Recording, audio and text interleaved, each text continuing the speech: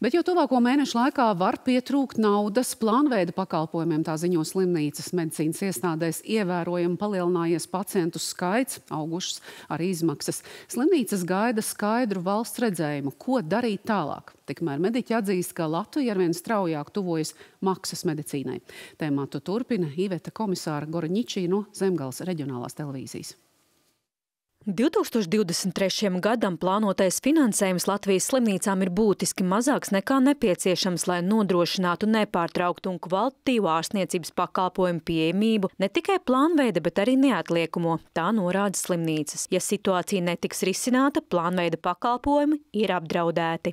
Tie aprēķini ir balstīti uz to, kāds ir cenu reālais pieaugums, cik tas maksā viens pacients slimnīcai, un balstoties uz to mēs arī sakam, ka iespējams, nu, teiksim, otrā pusgadā var aptrūkties līdzekļi par piešķirto naudu ārstēt plānveida pacientus. Pieaugot inflācijai pakalpojumu cenām, visās jomās viena pacienta ārstēšanas izmaksas pieaugušas apmēram par 10%. Ja iestāsies situācija, kad, kad mēs nespēsim vairs izdzīvot ar šo valsts piešķirto finansējumu, tad ierobežosim vai pilnībā atteiksimies no plānveida palīdzības. Ogres rajona slimnīcā pērn viena neatliekamās palīdzības pacienta ārstēšanas izmaksas bija 733 eiro, bet šogad var rēķināties vien ar 701 eiro, taču izmaksas ir pieaugušas.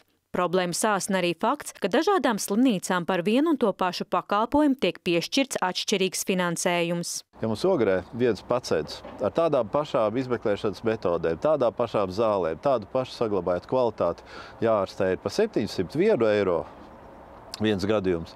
Tad ir slimnīcas, kurām tiek piedāvāts šajā pašā valstī šādu pašu kvalitatīvu ārstēšanu sniegt par 900 eiro. Un ir starpība 700 eiro vai 900 eiro. Mediķi satraukti norāda, ka jau Covid epidēmijas laikā plānveida pakalpojumi tika ierobežoti. Tagad ir jūtamas sekas, būtiski palielinājies pacientu skaits medicīnas iestādēs, tajā skaitā pasliktinājies hronisko slimnieku veselības stāvoklis. Ja mēs salīdzinām 22. gadu, 21. gadu, tad pacientu skaits ir pieaudzis. 21. gadā 3516, 2022. gadā ir 3880. Palielinās saslimstība, pieaugušās slimības un arī stacionāra apmeklējumos rindas ar vien kļūst garāks. Ja slimnīcas dēļ nepietiekamā finansējuma ierobežo šos te plānveida uh, pakalpojumus, tad skaidrs, ka pieaugs uh, šo te maksas medicīnas pakalpojumu apjoms. Un es teiktu, ka Latvija strauji tojas pārējai uz maksas medicīnu. Tas nozīmē, ka daudziem cilvēkiem dzīves kvalitātei nozīmīga ārstēšana iespējams būs praktiski neiegūstama, jo tā, piemēram, gūžas endoprotezēšanas operācija pašam pacientam izmaksās 4 līdz 5 tūkstošus eiro. Veselības ministrija atzīst, ka problēmas ir, bet naudas valstī ir tik, cik ir. Lūk, ministrijas rakstītā atbilde. Veselības ministrija labi apzinās sarežģīto finansiālo situācijas slimnīcās saistībā ar tarifu neatbilstību reālajām pakalpojumu izmaksām pēc energoresursu sadārdzinājuma un augstajiem inflācijas rādītājiem. Kopā ar slimnīcām šobrīd tiek veikti papildu aprēķini, lai novērtētu šī brīža aktuālo situāciju.